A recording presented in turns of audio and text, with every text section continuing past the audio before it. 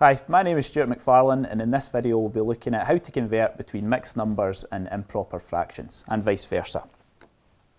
Now an improper fraction in itself, or a top-heavy fraction as we sometimes call it, is a fraction where your numerator, the top number, is greater than the denominator. The bottom number as we see here with 32 fifths, 31 ninths and so on. Now anything where the numerator is greater than the denominator creates a value that's greater than 1. So these can also be expressed as a mixed number.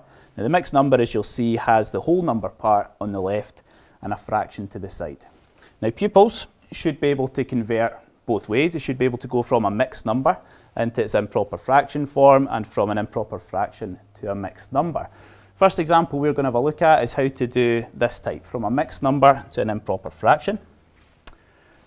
First example, express 3 and a quarter as an improper fraction. If I was introducing this to the pupils, I would ask them to visualise or draw a representation of 3 and 1 quarter. For example, three whole pizzas and a quarter slice. The pupils can then take their, their drawing and split it into the relevant fractions, quarters in this case, and then count the, the fractions up. We've got 1, 2, 3, 4 in the first whole number part, 5, 6, 7, 8, 9, 10, 11, 12, and 13 quarters for our top heavy fraction.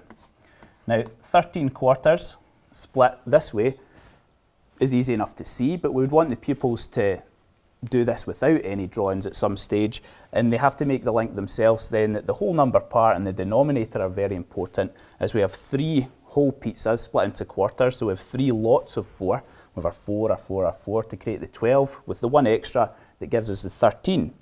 They should then make that link that we can do this with multiplication. We've got three lots of four quarters, so to do it without any drawings, 3 and 1 quarter could be expressed as an improper fraction. 3 lots of 4, 3 multiplied by 4.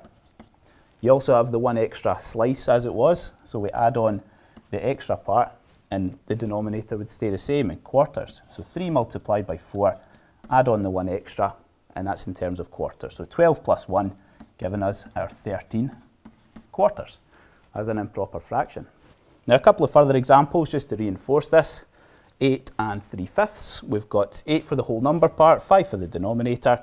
So we have 8 lots of 5 fifths. We treat that as 8 multiplied by 5. Add on the extra 3, as it is in this case, and the denominator is fifths. So 8 multiplied by 5, 40 fifths, add on 3 fifths, gives us our 43 fifths as an improper fraction. After a while, when the pupils are a bit more confident, they may dispense with this working and just do it mentally. For example, 4 lots of 7, 4 multiplied by 7, 28 plus 5 gives us 33 sevenths as a top heavy. Now going the other way, from an improper fraction to a mixed number, again we can introduce it with eh, a visual representation, in this case 8 thirds, if we were to draw out our pizza slices again and count them all up with 1, 2, 3 thirds to create the first whole number, another 3 thirds creates another whole number, and we would have two extras in this case. So as a mixed number, visually, the pupil should be able to see that 8 thirds can be written as 2 and 2 thirds. But again, we wouldn't expect them to do drawings for all their working, so we should be able to do it without. Now we'll reinforce and reiterate that over is a divide. We're going the other way, so 8 over 3 technically means 8 divided by 3, which the pupils can carry out. 8 divided by 3 gives us 2 remainder 2, now the first two, this two here, represents the two whole numbers or the two whole pizzas that we saw earlier. That's our three thirds and another three thirds, the three dividing into the eight. The remainder two is the two spare slices on the side. So eight thirds, eight divided by three, being two remainder two as a division, we can write as two and two thirds. And further examples again, to have a wee look at this. 13 fifths, treat it as a division. 13 fifths means 13 divided by 5, which the pupils can carry out as normal, giving us 2 remainder 3.